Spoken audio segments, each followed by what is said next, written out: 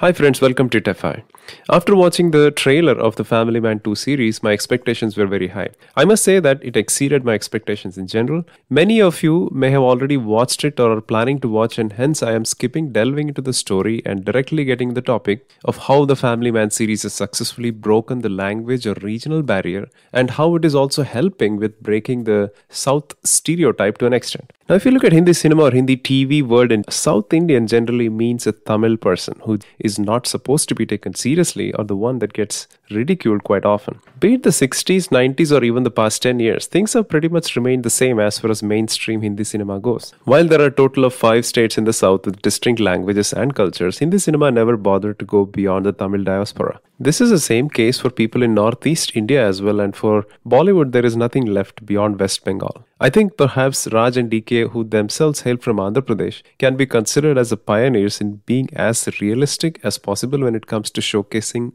authenticity of the place, language, and culture of the plot's backdrop. In the first season, there was a lot of Malayalam as the series revolved around ISIS recruits or terrorists originating from Kerala and a complex network of Islamic terrorism in Pakistan and Middle East, starting from Neeraj Madhav and a group of other terrorists who get captured to his pretend relationship with Kerala-based nurse. There was a lot of authenticity in the way things were portrayed. If someone is thinking that Raj and DK are from the south and they could easily handle the nuances of other southern states, that's wrong. It is not easy for directors or scriptwriters from other states in our country to portray characters from another state without doing enough research on the topic. I think these guys are consciously trying to break the language barriers and don't really care about the proportion of Hindi versus English versus any other language. At the end of the day, they're making an Indian TV show, not a Hindi TV show. Now, talking about season 2, my first gentle disclaimer about the outrage this season has caused before and after the release of the season among the Tamils. Friends, I watched the series fully and not a single moment I felt like uh, there has been any attempt to belittle the idea of Eelam and its cause. They address the tigers as rebels instead of something as negative as a terrorist.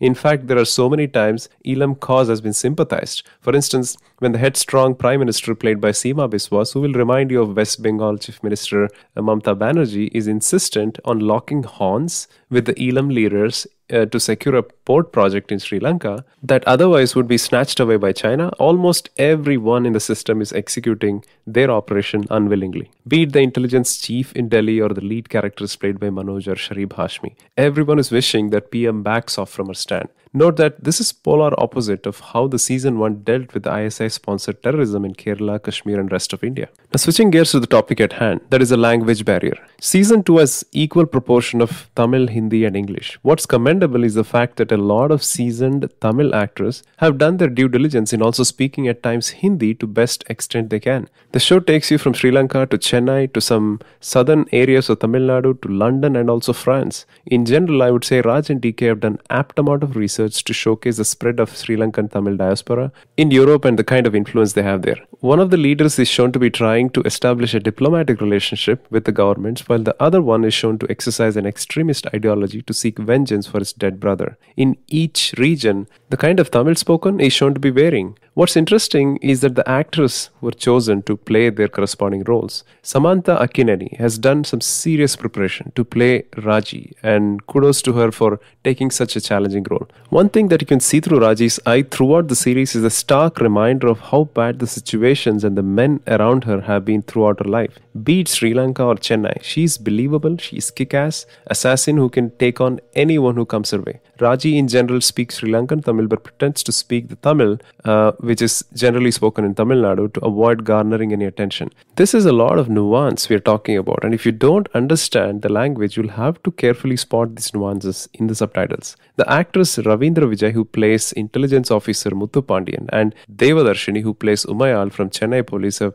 played their characters choosing between speaking Tamil, English, and Hindi pretty eloquently. The retired and the most intriguing intelligence officer, Chellam, who is still underground for the most part, is the best thing that could have happened for the series. He's quirky, old school, but super effective in guiding Srikant Tiwari during many turning point moments of the series. Show imbibes many light-hearted moments related to the regional and language barriers in India if you take it in a positive sense. Be it the Cold War that erupts in the war room uh, to finalize on a Tamil or a Hindi song, or the scene where Srikant and JK are put in jail by Umayal, or the friction that erupts between JK and Muthu due to the ignorant questions raised by JK are quite relatable and hence hilarious. Friends, as I end this video, it looks like the next season will be focusing on northeastern regions within India and possibly China. And I think it'll be interesting to see what languages the makers are going to imbibe with authenticity. The sad truth is, the mainstream Bollywood will never want to put any effort to break the regional stereotypes, as the makers of Family Man series have put in.